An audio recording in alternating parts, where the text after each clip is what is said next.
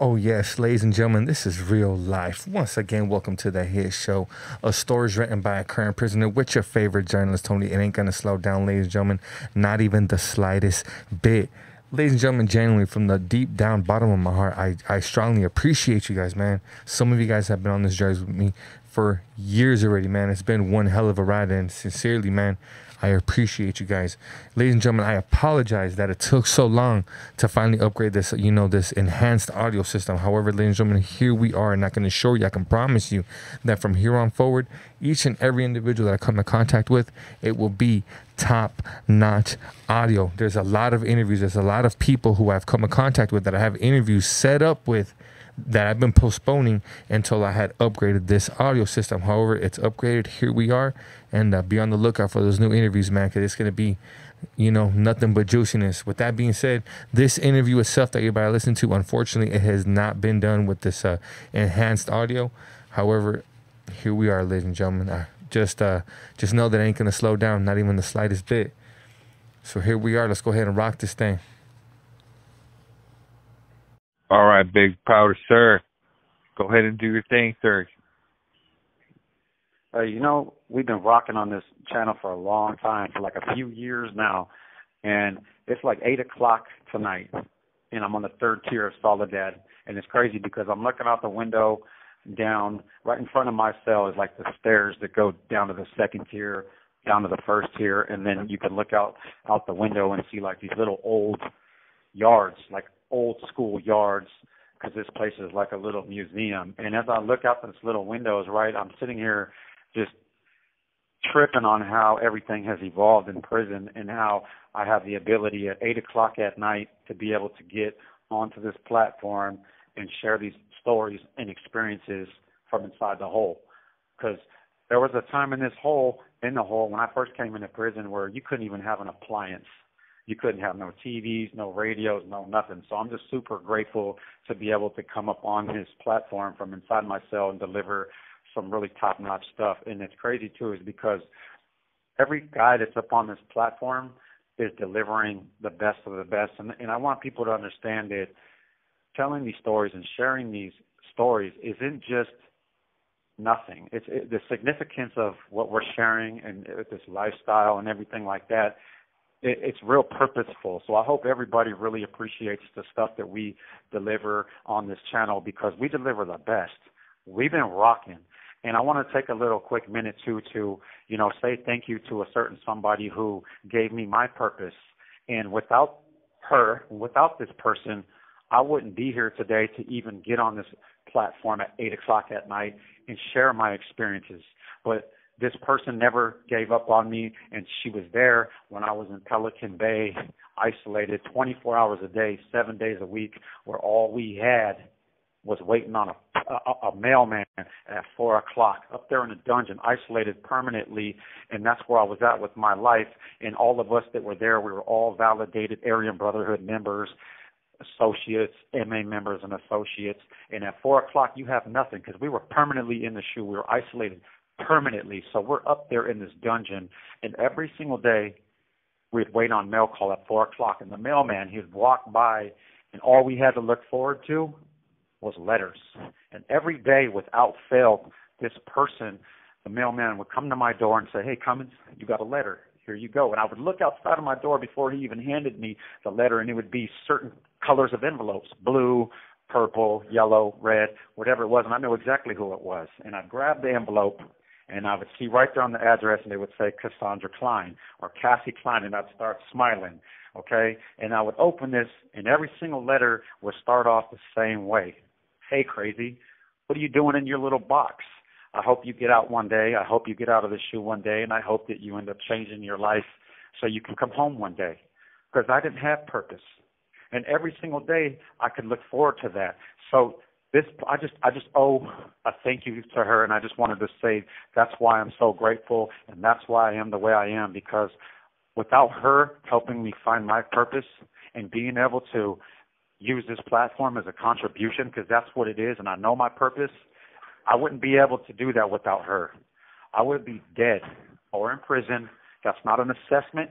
That's a fact.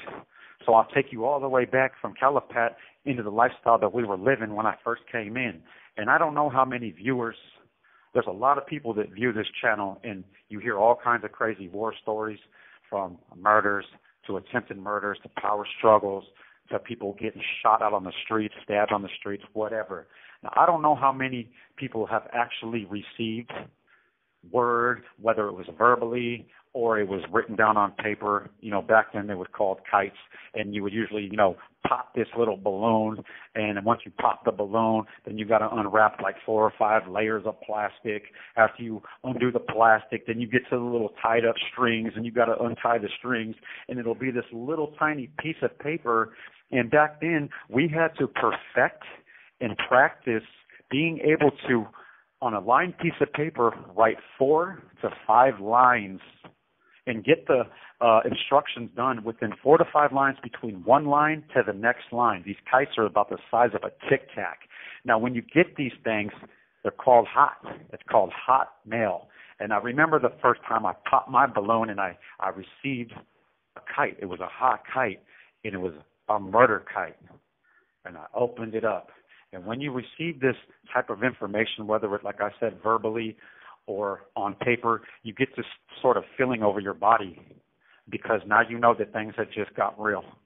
And in the lifestyle that I was living and the lifestyle that everybody was living in, because like I was talking about Prison of Evolved, it's not like this anymore about what I'm about to share because these things are considered snail mail. So when you open it and you get the contents of this kite, and it's usually in red pen writing. The way that the brothers would do it is usually it'd be in red pen writing once you got to it, and it'd be just five lines on the front, five lines on the back, the size of a tic tac, and it would be cut to the chase, straight to it. We want so and so handled. There's no if, ands, or buts about it, and it's a murder kite. And now you're in a position to where you have to either take the responsibility to get the job done and the way that they would do this, the way that they would select people back then, it was considered snail mail. So on these yards, we would have to get roll calls on each yard and send it through the ad segs. This call and your telephone number will be monitored and recorded. Going on missions, whether they were stabbings or whatever and they make their way to the SHU with these little kites, whether a Sureño or a white boy was catching a ride to the SHU. Some of these kites and roll calls that we would send to the SHU to the brothers would take six, seven, eight, nine months, sometimes a year, two years, and been up so many. The time they get it, it smells. It's been, you know, they really go to extreme lengths and measures to to communicate because back then they didn't have cell phones like that. Everything was on paper. So the brothers they would receive these roll calls from the SHU and they would open up these roll calls and these roll calls would consist of people's names, first and last name, their CDC number, their AKA, you know, and that way they can narrow it down on who's on their yard, who needs to go, and how they're going to go. And who do they have that's responsible enough and determined enough to get the job done? And let me tell you something. When instructions come down from the brothers or the MA or whatever the faction is, there's a big difference between hurting somebody and making sure that their heart stops, making sure that their soul leaves their body permanently.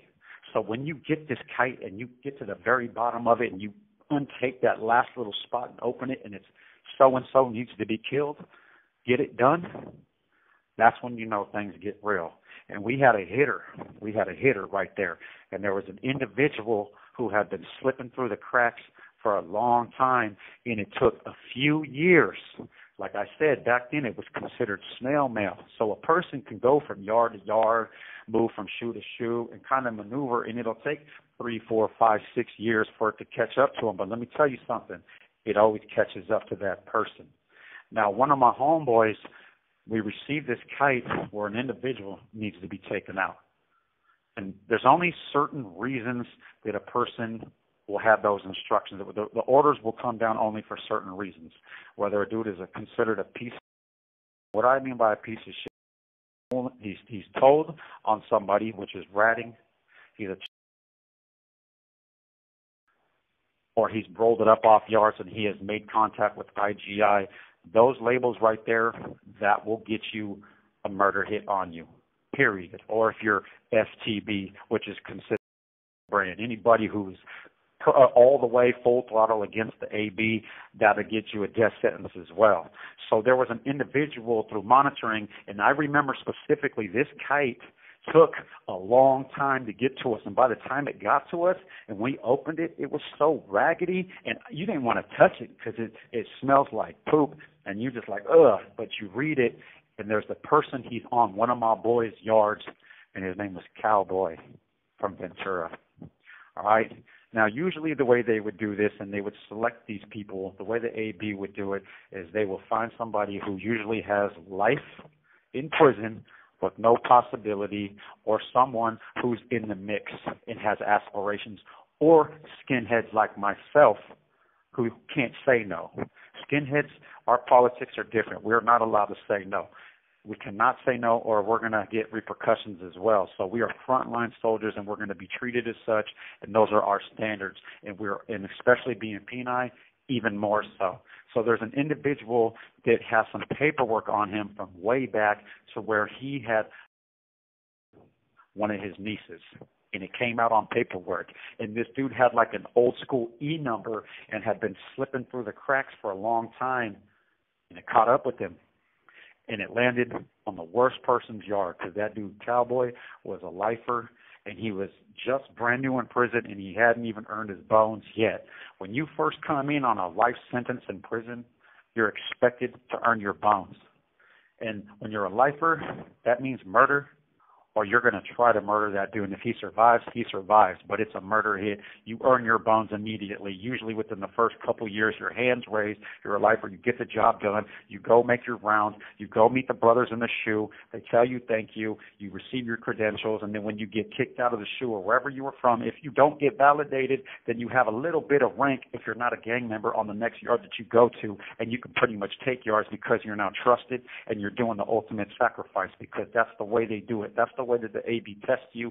It's the ultimate sacrifice. If you're down to kill somebody for them and sacrifice your life for them, you're either going to catch a life sentence or you're.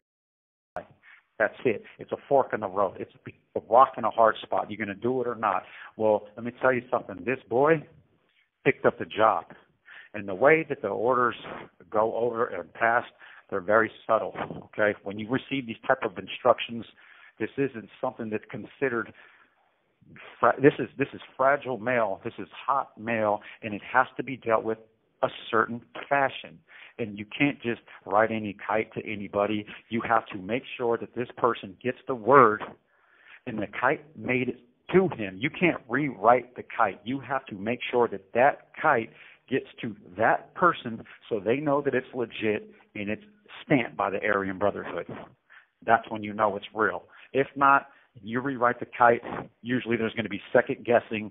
By that time, somebody ends up leaving. The job has to get done, okay? And the repercussions of getting a murder kite and fumbling it, sorry to say, bro, you receive that man's punishment, and now you're the target. That's what's going to happen, especially if he gets away. So you are not allowed to fumble with these type of things. These are career-ending or career-breaking type of deals, okay? So we get the word over to Cowboy and he's over on B yard in Calipat at this time. And then we get the touchdown. So nothing's going to happen until you get the touchdown and verification that he received word and it's a go. Then you're just waiting. And the way that these instructions went to him, and you can kind of say, you know, I've incriminated, I've incriminated myself on these stories, but a lot of this is all common knowledge, and this is just experiences that have happened in prison back then on how people would earn their bones and how people were living life. This is an everyday thing. Every day in prison, somebody's dying and somebody's catching a life sentence. That's what's up in this lifestyle, whether it's on the streets or prison. So he gets it and he sends word to us that he got it and it's a go. Okay. Now we were debating. So us in, the political circle, I was a kid, but one of my older homeboys, Animal Mike McMillan, would keep me informed on everything because I was his little soldier, and I need to be in the know at all costs because I'm I'm, I'm a trusted person, and I've seen the kite. My eyes have seen the kite. Therefore, I'm reliable too, and I'm responsible for it as well. And now we're just waiting to see what happens. And what happened was is this. So you have 60 seconds remaining.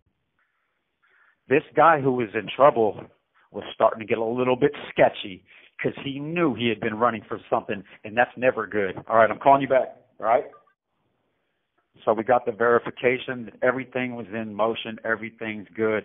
And now the orders, see, back then, what's crazy is even when you're dropping out, there's certain attacks and there's certain ways when a, a hit goes down where you know that it's ordered by the Aryan Brotherhood. Now these days, you know it's ordered by the Aryan Brotherhood if they have one person holding you, why the other person is digging you out. Okay?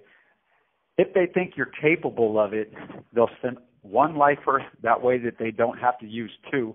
They'll use one lifer who is big enough and capable enough because they've assessed this man among their peers. They selected him from the SHU, and now the faith in him. Everything's up to this man. Well, they picked the right person, okay? Because this dude, Cowboy, I know him real well. So once we got that go, there was instructions for him to use a certain type of knife. Because like I said, it's a murder hit. A murder hit, you don't want a person to be out there stabbing the dude a million times. There's vital spots to be able to hit a man to take him out and that was on the kite itself. On the kite itself, it literally explained that they wanted him stabbed in his heart. They wanted his heart to stop. There was no gray area. Some people, when they receive those, they'll they'll fumble it by thinking that means just stab him a bunch of times until his heart stops, and then they end up coming up short, and they're all in trouble. So when we got these orders to stop his heart, it was a heart shot. That's what they mean. That's the translation. Go right into a shot. Now they design a certain type of knife. So what you do is, and the way that the orders go down is, you what you wait till you have your good moment, and you take your opportunity and you run it in. You don't sit here and be foolish and start panicking and just grab whatever. The next thing you know, this dude's starting to know whatever's going on. And that's exactly what happened. And then that's how mistakes happen. A person has to have a real poker face. You have to, when it comes down to these things, because this man knew he was running from something and he was starting to get skittish because you can tell when they're putting together a hit. I know this from personal experience just by watching the body language of everybody, the way they start treating you, it's different. Psychologically messing with you. You can tell because you hang out with these people every single day. So we got word that this dude is starting to feel some type of way.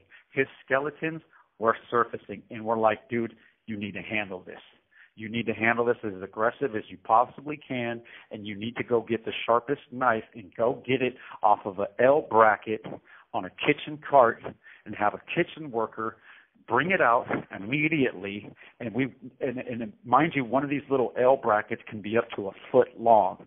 And where the heart is placed at you don't have to have it a foot long. It just has to be sharp and constructed enough to where it's secure to where it doesn't bend and go straight to the heart and pops it. It's a one shot type of deal as long as you have the right tool to do it. So that was the orders that was given. So they did that. Once they got the L bracket popped off, they sent word right over that they got it and it was going to be done. The orders were to get it done overnight. A piece like that, when you're constructing a fatal hit knife, it only takes one night to do. And the way you do it is is you find a rough spot on your ground. This call and your telephone number will be monitored and recorded. and you pour a little bit of water on the ground so that it doesn't grab and it's nice and slippery. And as long as you put a lot of back arm into it, you will have a nice constructed kill knife by morning time then usually a person in a celly will take turns. You can get these things as sharp as a razor. You can literally get these things as sharp as a box cutter, but we're not looking for a box cutter. We're looking for something that's going to be smooth like butter into this man's heart. Then we got the green light. It was done. So the knife was constructed. The, the, and the person that's usually on the job to construct the weaponry is going to be someone who has experience in doing that, someone that knows what they're doing. You're not going to have some rookie on the job. You're going to have a seasoned veteran who knows what they're doing in order to get the job done. That's the way these little targets go. So it gets done. It's the next yard. Like I said, this thing had to be done immediately before this dude gets away because 100% he's starting to act weird now. And what I mean by weird is he's keeping his distance from the wood pile. He's not coming out like he's supposed to. So that's when it puts you into a position where a white person might have to call a mandatory yard. And a mandatory yard is to make sure that everybody's out there. But when they do that type of thing, the person that's in trouble already knows that the mandatory yard is for him. And you don't want it to get there. You want this to be nice and subtle, smooth, calm, cool, and collected, get the job done, and be done. Okay? So it's morning yard. They canceled it that day. The day that it was supposed to be canceled, the day it was supposed to happen that morning, they canceled it and ended up searching all around the Whites areas looking for knives. Fortunately, we had it in a certain hiding spot that they wouldn't find, but we knew that somebody had dropped some sort of dime that something was going to happen. So we checked on it. How many people have known about this? Nobody. Other than you and the person making it, who knows? Nobody. Okay, so then it must be that person pretty much telling the cops to check the area to make sure that he's safe when he goes out to yard. That's what that was all about. So the next morning they ran it. And that was the day. So they come out to yard, and when you come out to yard, you initially you go straight over to the whites area to the table that's ours the one that we have established is ours you go to the table but everybody knows that the whites table is treacherous and you don't want to group around. Anybody who knows they're in trouble is not just going to go put themselves in a situation and go turn their back to a bunch of whites at the whites table. But that's the formalities when you're an active white person in the state of California. You have to go there to do a, um, a supplement roll call. Make sure all the whites are out there that are supposed to be out there. So they did that, and they all shook hands, and that's when Cowboy had to befriend the dude. Now here's the thing. Cowboy was selected not only because – of how big he was and him being a lifer, it was because he was a likable dude and this person would least expect it from him. That's how that works. And that's how it usually goes down is the person closest to him, the one that can get close enough to do it, is going to be the person to do it. That goes for all. That's just the way it is in the game. And that's what they did. So Cowboy was using his charisma, whatever you want to call it, his manipulation skills, and he takes him over and they're talking and he's leading them so far off track. This guy is feeling so comfortable being around Cowboy. And now he's going wherever he wants him to go. He's got him at the palm of his hand, and he walks him and lure his, lures him right over inside the weight pile. Now in Calipatria, the way it's set up, the weight pile, a lot of hits go down there because it's right under their nose. The gun tower is above the weight pile, right in the middle of where it separates both yards, because there's a fence right down the middle of the yard separating four and five block and one, two, and three block. And the gunner cannot look everywhere all at once, so they do it right under their nose, and they usually cause distractions on the other side of the yard to get the cops' attention away from them. This was all set up to perfection, and that's what happened. The only thing is, is that somebody had dropped dime and the cops were a little bit on it. So this was going to be more of a kamikaze mission. Rather than trying to get away with it, at this point, cops knew about it. They searched it. He's a lifer. He's not even tripping. So as soon as he gets his opportunity, he's taking it. And as soon as he sees the cops of what he thought the cop was looking away, but the cop was wearing sunglasses, so he okey doked him and he took out that knife. And the dude that he was hanging next to that was in trouble wasn't even looking, and he took that knife and he plunged it right into his heart and popped it one shot. As he did this, okay, anybody who's seen anything like this, it's not what you think. It's not what you think. It's not something easy to absorb. I don't care if you're the person standing next to him or the person on the yard. Just the whole action in post hit, even post hit, it really just leaves chills up your whole body. But he thought he got away with it, but he didn't. And the cop seen it the whole time, turns around with the Mini 14 and hits him with a 223 bullet, boom, right into his chest, explodes his right there in the middle of the yard. He lays flat on his back. The paramedics are coming out and they are in se- severe panic mode because they have one person who just got shot, a fatal hit right into his stomach with a with a mini 14 bullet, and another dude who's not moving on the yard. He's literally a slab of meat who's gushing out of his left side of his chest, which was his heart. Okay, he got the job done. He ended up getting caught for it. Homicide, busted, dead in the rights. And then this dude ended up, his cowboy ended up getting a colostomy bag because it tore out his insides His intestines were literally falling out of his stomach, and they were trying to put his intestines back in. This call and your telephone number will be monitored and recorded. On the yard to save this man's life. Luckily, they do have a good response team, and that's the only way they saved this life's man, or he just had a fight in him where he didn't want to die because not too many people survive survive a bullet like that straight. And let me tell you something, the distance between the tower to where he got shot is only about 50 feet.